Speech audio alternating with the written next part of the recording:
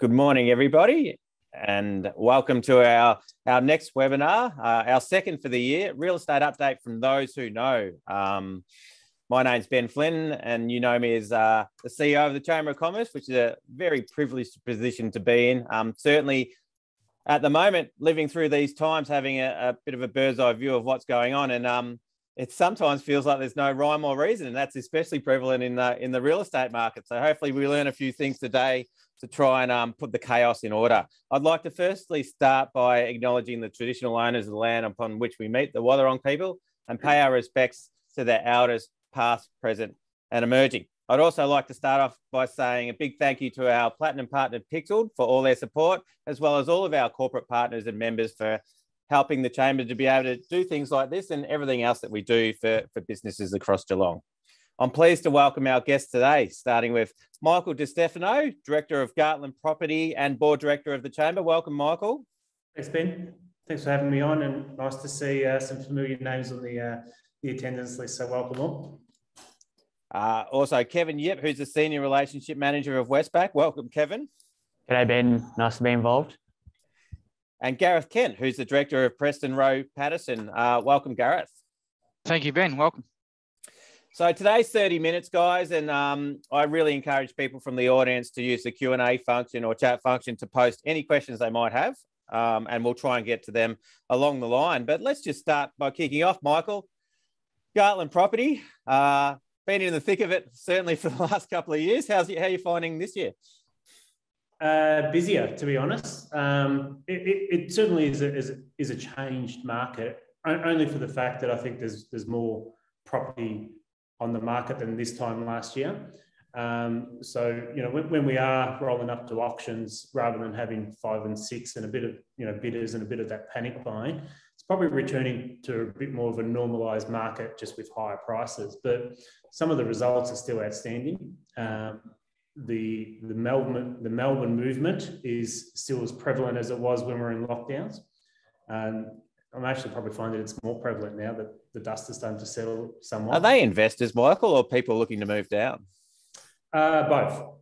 Both. I, I, think from a residential perspective, you know, we've heard about the sea or tree change um, quite a lot over the last two years, but mm. probably what we haven't heard being um, advertised or, or, spoken much is the actual the investment um, money being being um, invested down this way from from abroad. Mm-hmm. Um, I reckon from, and I'm talking commercially speaking here, um, I reckon probably about 60% of my buyers are now Melbourne based, um, which is which is a figure that continues to, to actually grow. And you know, we used to say the secret's out, but it's well and truly out now. So the um, the investment dollars, you know, the locals are have got a lot more competition now. And are you finding so that's residential you're referring to? You're finding commercial property? Um, is that on the same plane as residential?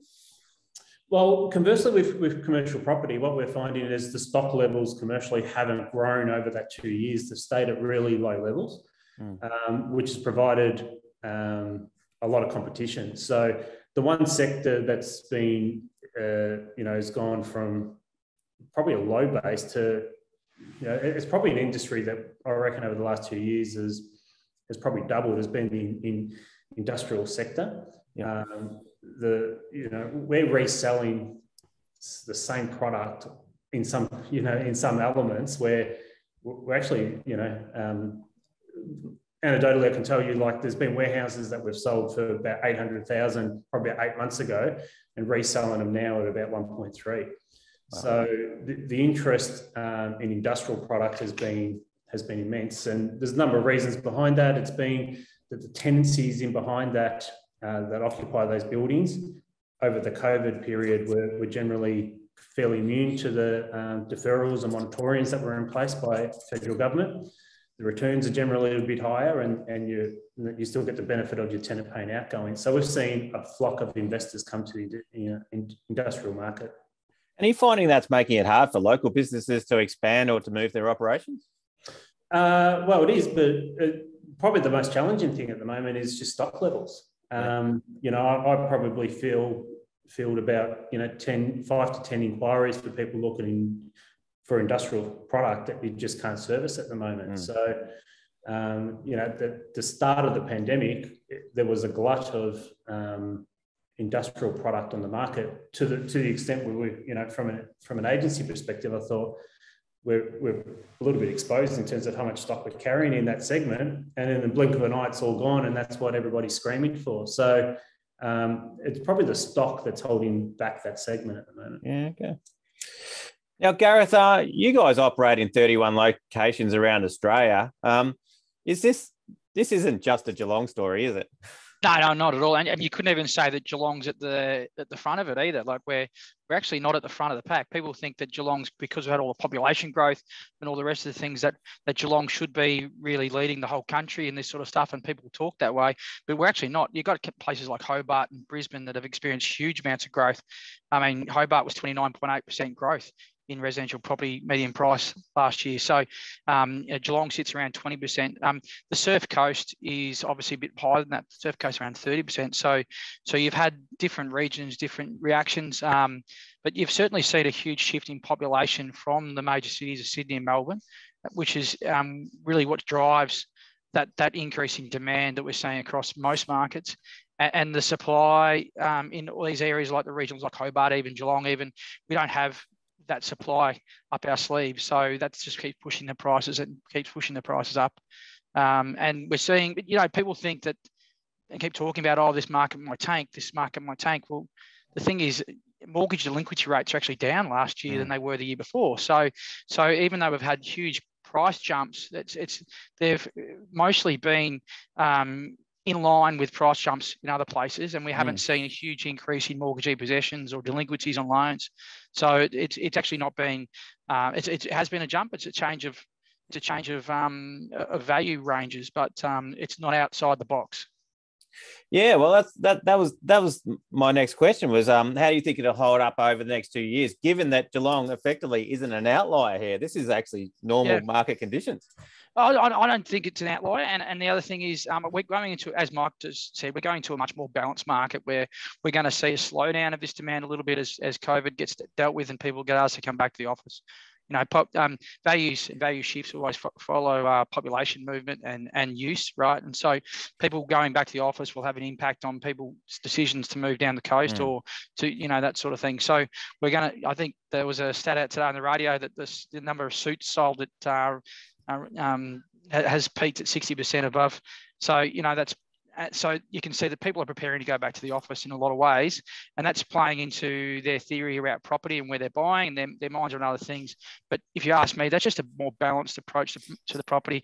As values, we don't like seeing huge increases in jumps in property values. That just leads to a problem at a later point. So if we can come into a more balanced market over the next 12 to 18 months, I think that's a very healthy place to be.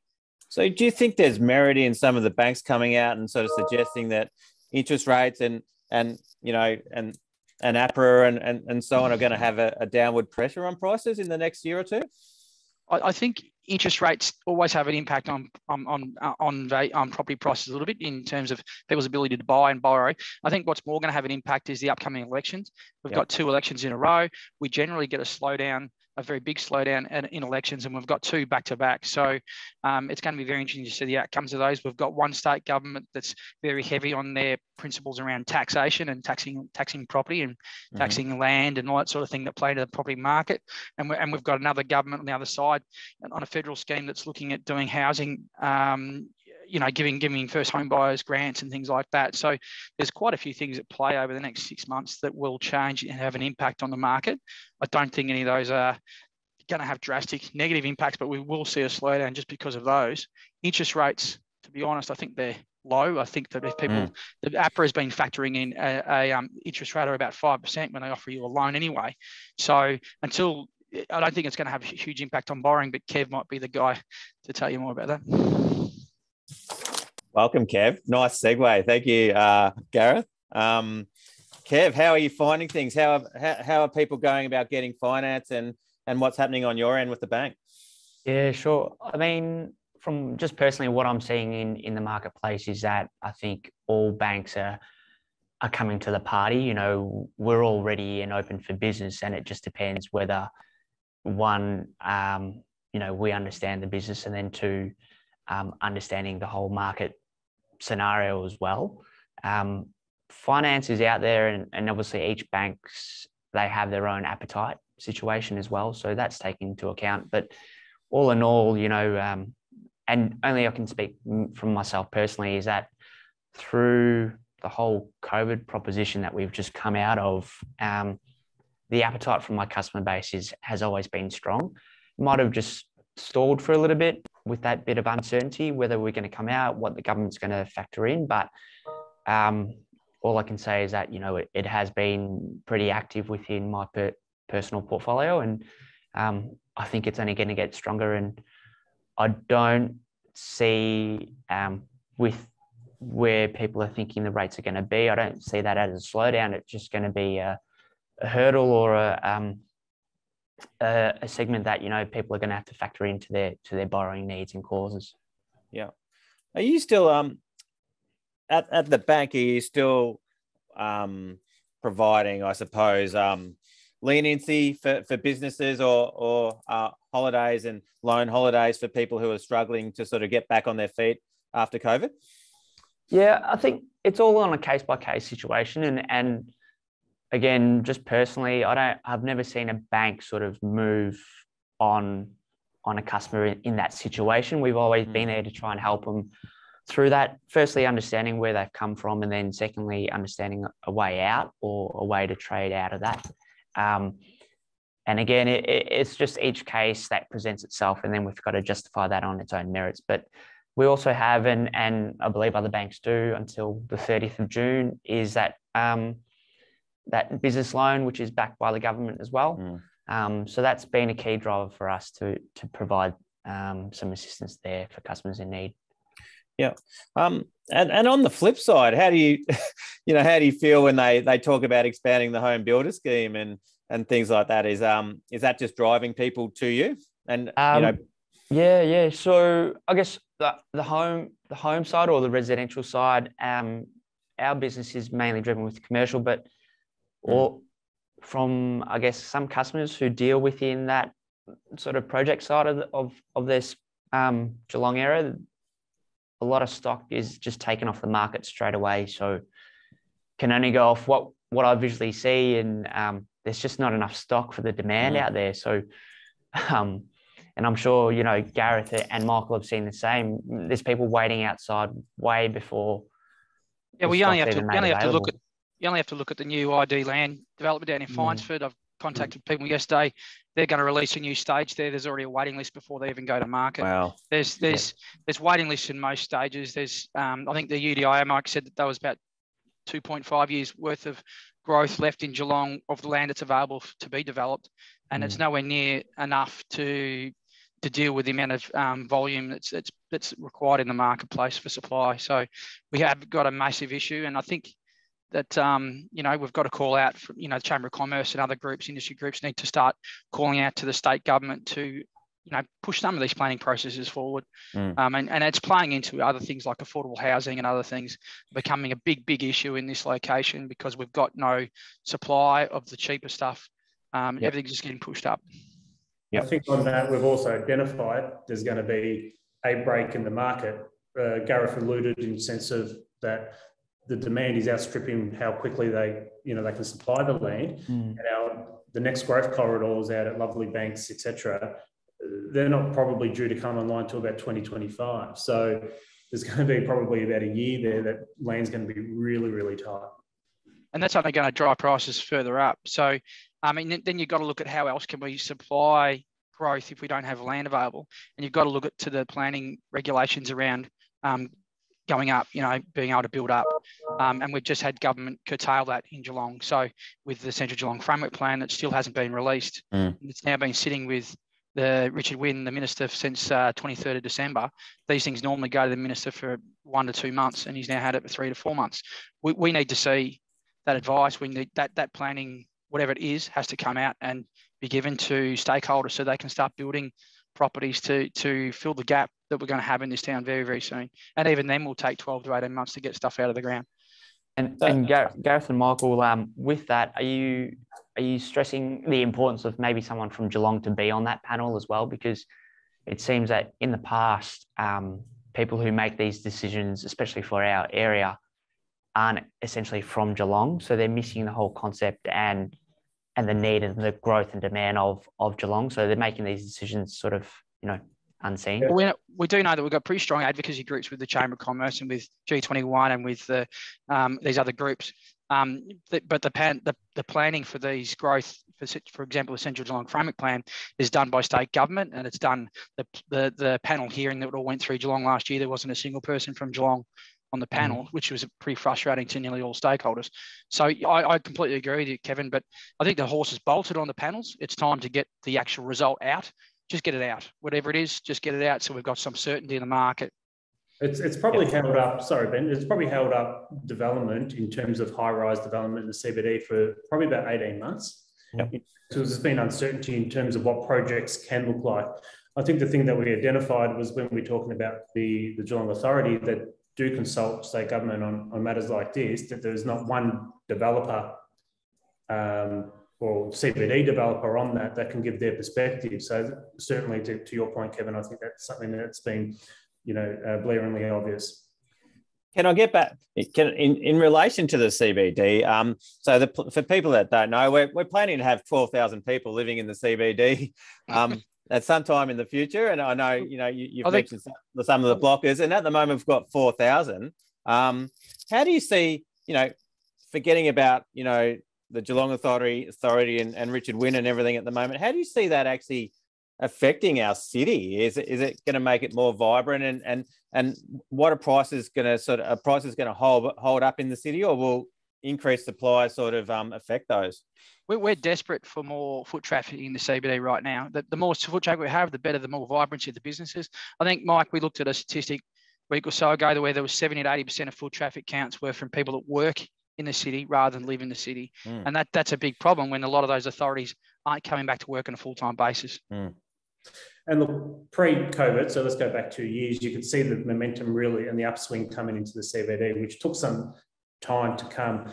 For years prior, you know, the the, the notion of apartments in the CBD was was was weak, but then it took two developers to come in uh, with the Mercer and uh, Miramar to see just how well um, the uptake was. And now we've got a third one at Ryrie Home that's I would be uh, close to 85% sold, you know, with, with. I think, I, I, think it's higher than that now. I think they're pretty well yeah. sold out or close to. So, you know, regardless of height, the appetite is certainly there. I think you said 4,000. I think it's only about 2,500. So the mandate to have 12,000 by 2030, time's running out. And mm. that, that's why I think um, I think the amount of um, apartments will be absorbed in the market with protecting price. Mm. Because as we alluded, we've got that um, the urban sprawl, we're running out of um, uh, property to sell essentially and affordable housing. So rather than and, and, the blocks are getting smaller and smaller and smaller. You know, I think the average uh, block size now in Armstrong Creek is under 300 square meters. Wow. So the um, you know the apartment market is a is a real alternative. Um, you know, to, to, to and that's a good that's a good point. We just looked at some sale prices in Torquay, for example, in a new estate that's going out in the Torquay. They're 440 square meter lots. They're selling them for 670,000 a lot. Now, in, in comparison, that's that's 15,000 a square, 1,500 a square metre or just over. It, it's pretty high numbers. And, and when you talk about an apartment in the CBD, you can be much closer to things, you know, for similar, if not much more money with, a, with, it, with it finished.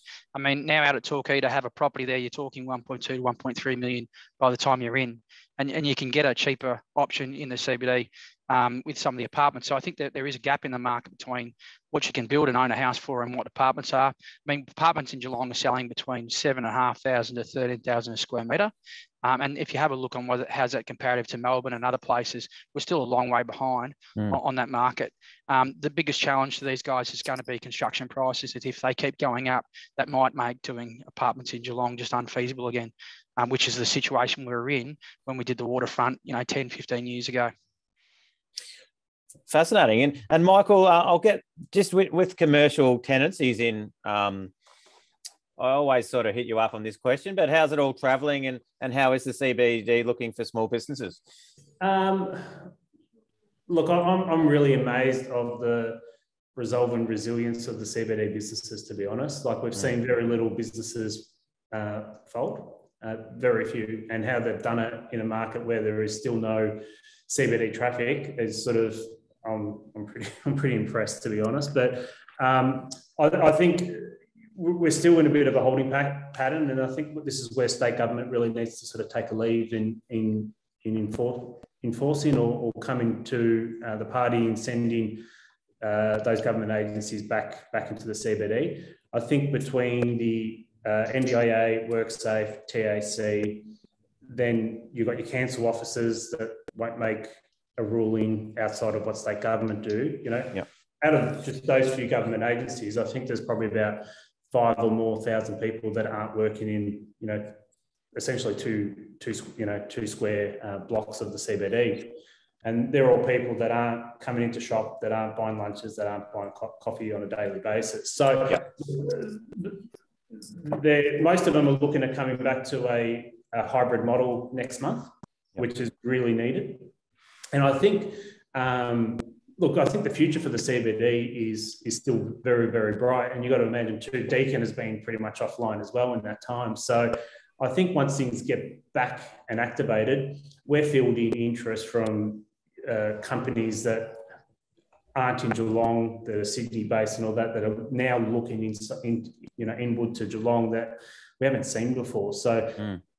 I, think fast forward, we get a little bit more uh, space between, you know, the norm and COVID. I think, you know, the CBD future is going to be bright.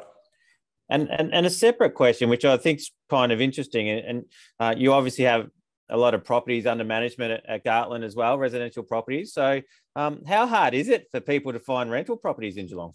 Yeah, you know it's tight when all these people that you haven't heard from from years uh, give you a call and say, "Can you put in a good word for us?" Um, it, it is tight, Ben. Um, the competition for each for each property, um, you know, there's multiple multiple applications received. I think you know, for the, the portfolio of our size, I think currently, if I was to say what was available, I think there's about five five properties um, currently. So um, the competition and the price achieved at the moment is high, and I think any talk of interest rate rises and all that's going to make that residential, um, uh, you know, leasing market or management market even more competitive. So mm. I don't think that um, uh, that space will change in, in you know anytime soon.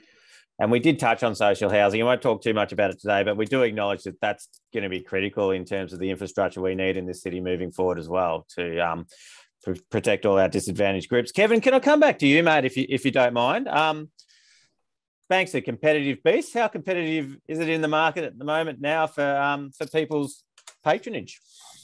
Yeah, I think um, you know we are pretty competitive in the banks. We we it'd be a lie if I said you know you, we don't know what our counterparts are doing at the four other three majors and and also the second tier and third tier banks, and everyone's got their place in the market for certain customers. Mm-hmm. Um, but I guess myself personally, you know, if a if a deal or a proposal comes across my desk, I am pretty competitive, so I just hate to lose. But then I've just got to bear in mind, or anyone has to bear in mind when they're doing business, is that it needs to be the right proposal, and it's always judged on a on a, on its own merits. So, um, you know, if it comes down to pricing, it comes down to pricing. But I always tell my customers is that the relationship piece comes first, and I think it's the same mm. if Michael and Gareth and even yourself, you know, when you're dealing in businesses and you're building that network one relationship is key because if you feel like you can't talk to that person about mm. anything at all and be transparent then somewhere along that point it's going to come apart because i guess only from experience and, you know being nearly 20 years in the banking industry you can be the price winner but then comes a certain point if you're not going to win that that deal on pricing um, that customer is most likely going to go somewhere else so the basic needs are understanding your customer know what the business goals are, but then also personally, what keeps them up at night? What is driving them to succeed? Because if the business succeeds, then personally, they may get to spend more time at home with their family or, or go into another investment venture. And for me, it's really basic, just understanding what those goals and needs are first. And and that all coupled together, you know, it should put you or you know me in a really good position to win that business and and be the number one competitor in the marketplace, which is um I guess my mantra. Yep, awesome. Um, Gareth, coming back to you, um, is it a good time to sell? Um, it's. I think it is still. I think it very much still is. Uh, there's still, as Mike said before, we're still seeing some really record prices on the weekend. Um, Candace, one of Michael's staff, sold a property in um, was it Hamlyn Heights, Michael Herne Hill, um, for 1.6 million. Um, and this house didn't have a double garage; it was a single garage with a carport, I believe. Um, it was a very nice renovated home, but that's a huge jump on house prices in there that mm. average 700,000. So, so it's um yeah, there's still some really record prices. There's still people looking for quality homes and looking to get down here that just haven't had an opportunities yet. I think that you would try and get in before the election um, and then try and see what happens through that period. But um, yeah, I, I still think it's a really strong time to sell. Yeah. And for buyers, um, I was reading this morning that a lot of real estate agents uh, are actually receiving love letters from potential buyers um, trying to, and Michael, no doubt you're smiling there. Um, but um, I think Michael know, gets love letters on a regular basis. Ben, well, so. Exactly, it's it's quite normal for him, but for, for others, I, I um, send him one at least once a week. for for others, um, it really is. People are, are desperately looking to buy. What advice can you give the, for those poor people who are just getting pipped at the post every weekend? It's it's it's one of those things, Ben. There's no secret formula. You just need to be active. You need to form the relationships. You need to know things coming on. But, but there's very little off market transactions now because you know my advice is to take it to auction or put it on the market because you just don't know who's out there. So you know being you know first on the spot isn't really a thing at the, at the moment because you know the succession rate you know i think uh, victoria based uh, clearance rates at auctions was about 70% over the weekend but it'd be even higher in geelong. So mm. 85.3% i think mark on the weekend in geelong. So you know um, you know, I think if we look back at our last 20 residential sales, I think 19 have been all at auction. So, um, yeah, the advice is still, you know, it's a still a strong auction market. So it's just one of those things. Be, be, you know, have, have your finance ready, be ready to pounce. Um, you know, because it is that market. You need to. I ready. think. I think that's the advice to buyers, and probably goes back to Kev again. It's a good segue to you, Kev. But there is um, what we see from evaluation land and is people trying to settle in 30, 60 days, just having almost no luck doing it with the banks. They've, people just got to get prepared and have their stuff done up front these days, don't they? That's to you, Kev. For me, yeah, actually, um, that's one of my notes. I guess is you know, if anyone is looking for finance, looking to acquire property, and whether it be commercial or, pro- or residential, you know, um, just always be prepared. And a key thing, I guess, what banks are looking for now, and we are a heavily regulated industry, is, you know, make sure, for example, your ATO portals are up to date, you know, they are cleared because even though there are schemes out there and you're advised by your accountant, and always take the advice of your accountant because bankers aren't paid to give advice out. But, you know, we do like to see stat accounts up to date, and be prepared with that financial information. So if you know that you are going to be in that position, make sure your accounts are, are prepared and, and covered off, you know, for the last financial year. Um, but most importantly, and I think that's the case for both parties, both your customer and your banker, is everyone needs to be very transparent. So if there's any any uh, you know ghosts in the closet, make sure they're just laid out on the table from day one. Because the worst thing that can happen is you go through that application process, a question comes up, and that stalls the whole sort of settlement mm. process, process and um, and you're back to square one. So puts too much pressure on the valuers to do it too quickly too. well, that's actually my final question for you all, and and thank you. We we are coming to an end. Um, but it, you guys have been super busy, and all of your staff have been super busy for the last couple of years. And um, how's everyone feeling? Tired. Tired. I think there's genuine burnout in, in, in our industry, but uh, you know we've been fortunate and blessed that over that pandemic we've been really busy. So I think you've got to take the good and the bad with our industry, but um, you know we really encourage our people to you know there's flexibility because there's a lot of long hours in real estate. So if it's late mornings and I've got guys that want to go for a run or you know start the morning with a surf or whatever, it's just you need to be fresh and you need to be you know, at your best for your clients. So, you know, we, we just provide the flexibility that, that people need to to perform at their best. Yeah, I think I think that's a for an as an employer, it's the same thing. I mean, you've really got to become a lot more aware of what your employees are going through, what's their home life like, you know, all those mental stresses that you previously might not have had to think about or traditionally hadn't thought about. You know, where is their money going? How stressed are they? Are they most of your, your employees now are working at odd hours, so they may, you know, do five hours during the day and the other four or five hours at night time after dinner um, or some are working in the morning and starting at 5 a.m. And, you know, everybody's moving and doing things in a different way. No one's working an eight hour day between 8.30 and 5.30 anymore. So it's that, that, that comes with pressures that you've got to actually hold people back. You've got to, you've got to remind people to put themselves first and their families first. And you've got to remind them not to be working past a certain time at night time. And, and that's actually the harder challenge, not telling them to work, it's actually telling them to slow down, guys, take a breath Yep. And that's that's the biggest mm. problem. Mm. And I Kevin, think, how's um, everyone in the bank? You guys haven't shut down at all. No, yeah. I, I guess we, we were we were lucky that we were, had a forced closure over Christmas, which is is kind of good because you go 100% the whole year, and if we could, we probably would work through Christmas. But it was good to have that, and it's been in the bank now for a couple of years, where you take two weeks off, spend time yeah. with family, enjoy the weather. But um, reiterating, I guess Gareth's point is you know, um, my regional manager said to me one day, he said, don't send any emails after hours. If you need to type it in or draft it because it's on your in your mind, just do that. But just be cognizant of, you know, that person receiving it at mm. that time. They can't do anything. Everyone's shut. So just send it off in the morning. But at least for you, if you need to write it, write it down. But you know, send it during business hours. And I think that's probably the best thing or best advice I've ever been given. Yep just have that balance. Very good. Well, thank you, gentlemen, for joining us today, uh, and thank you to everyone else who joined in. Joined in. So, Michael DiStefano, Director of Gartland Property. Thank you, Michael. Thanks, Ben. Thanks for having me. You're welcome. And Kevin Yip, Senior Relationship Manager of Westpac. Thank you, Kevin. Thanks, Ben. Thanks a lot. And Gareth Kent, uh, who's the Director of Preston Rowe Paterson. Uh, thank you, Gareth. Thank you, Ben. And have a great day, everybody, and good luck in the market.